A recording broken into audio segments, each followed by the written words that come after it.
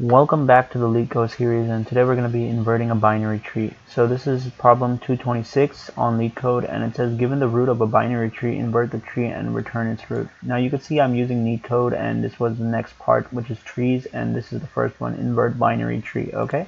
It's an easy problem and what we're going to be doing is inverting it. So given the root of a binary tree which is like this 4 we have to invert the tree and return its root. So for root will be the same, but you can see over here there's like a reflection. Over here we have 2, 1, and 3. So this is the root, this is the child, and this is the subchild. Left subchild and right subchild. Left subchild and right subchild. Over here we have 4, and then we have 7, and then we have 9. So basically this string over here is reverses here, and then that 9 which is over here basically is over here and the 6 which was over here is now over here so basically you flip this whole side uh, will be over here and this whole thing will be over here. So it's basically the invert of that tree. Now if we have this root like 2 um, which is 4 on the root and then we have 2 7 now you can see over here we have 2 and then we have 7 we're going this way like this.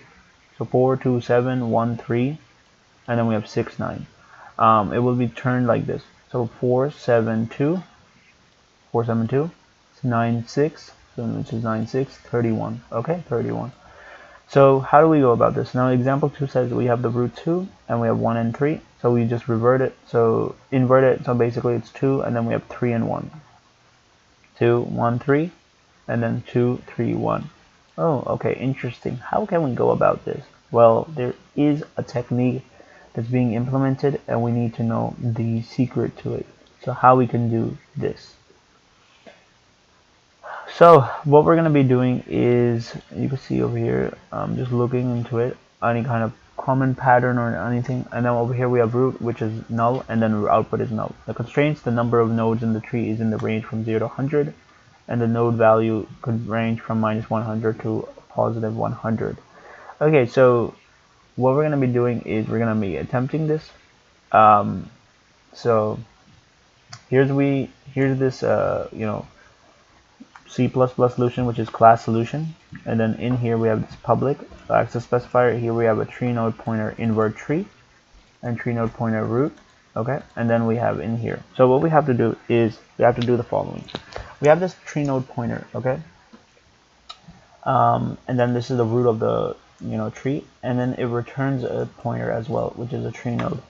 Now to basically go about this, what you want to do is you have to check if the root is null if for some reason the root is null what you're gonna do is you're gonna say if if root is equal to null if, if root is equal to a null pointer what you want to do is simply return because it's not going to be implemented there. So what I would say is this condition right here okay? So you want to return null pointer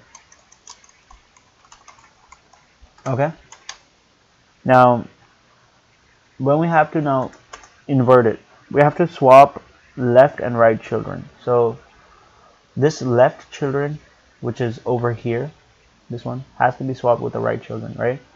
But over here we can see is this left children has to be swapped with the right children, right? And this left children has to be swapped with the right children, which is over here. So it's like the most left and most right. Mm, interesting. So four, and then we have two, um, and then it has to be swapped with 7 so it's basically like this. Okay. And then over here we have 1 3 um, and then we have 6 9 basically 1 has to be swapped with 9 right like that. And 3 has to be swapped with 6 so 6 and 3 like that. Okay so we're gonna be using something pretty cool over here. Let's go up here. Um, I'm gonna go here and I'm gonna tab press enter and we have swap left and right children. So I'm just gonna put a comment just to tell you that we're swapping the children. We have a tree node pointer and we use it as the temporary pointer so we say temporary is equal to the root pointers left. So whatever the root is, we'll get the left of the root. If you could recall over here, we have this tree node struct, and then we have an int value, and then we have a tree node pointer to left and tree node pointer to right. And then the tree node constructor that has a value assigned to zero, the left pointer is null pointer and the right pointer is null pointer.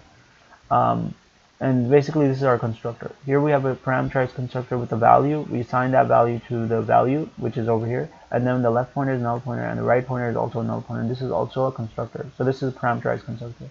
Then we have another uh, constructor, which is another parameterized constructor, which has a value, it has a left pointer and then it has a right pointer. We assign the left value, we assign the left pointer with the left uh, node and then the right with the right node. So basically what I'm saying is that when we have a temp we basically have all these things. We have the value, we have the left and the right. What we say is that the left, um, we'll, we'll put the temporary and point it to the left, okay? Now, when I, when I do this, I want to basically have the left pointer stored here in my temporary, okay? And when I swap the thing, so I'm saying I'm swapping it. It's pretty simple to swap. You say root left whatever the root left is exactly this is what's happening um, is equal to root right right? So we have the left is equal to the right just like how you saw over here. Left is equal to the right okay? So we're swapping it. And then the right so root arrow right will equal to the temp over here. I hope you got this point because this is how we completely swap the things um, so this is beautiful. We swapped it.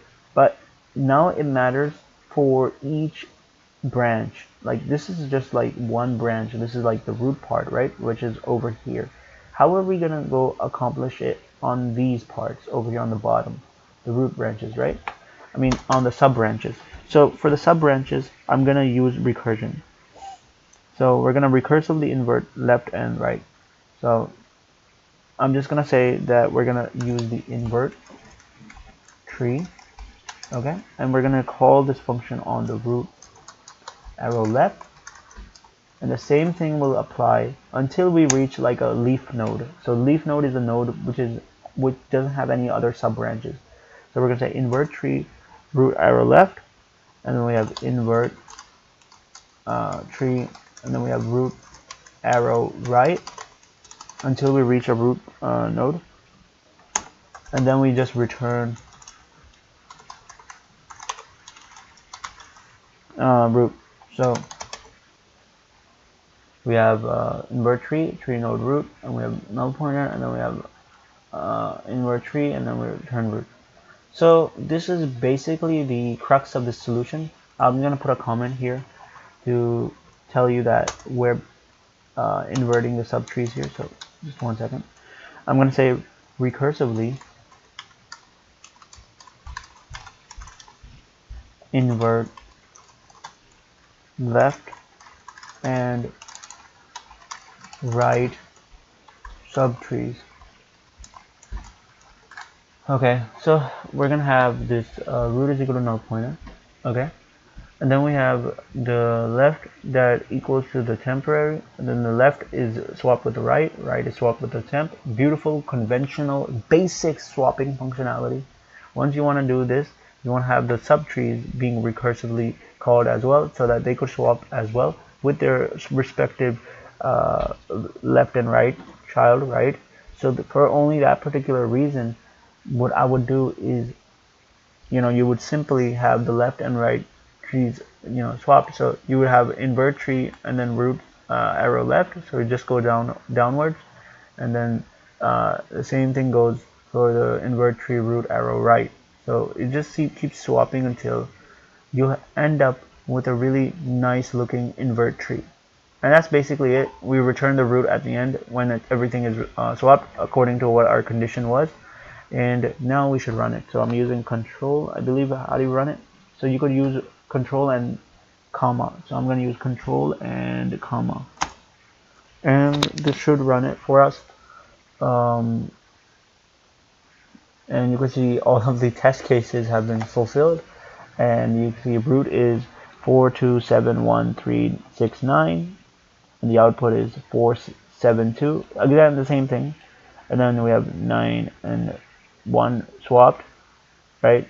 9 and 1 swapped then we have 6 and 3 swapped so 3 and 6 swapped um, you know expected was the same as well as the output. So the output was what my program gave and the expected was what had to be done. Again it swapped properly and the last one was the null case and it accepted it properly as well because of this condition here right? So we are really good to go. Really great solution. We could submit it using control and enter. And once we submit it you can see 2 milliseconds beats 47.57% of C users and great job. Uh, we have submitted this problem and we could easily move on to the next one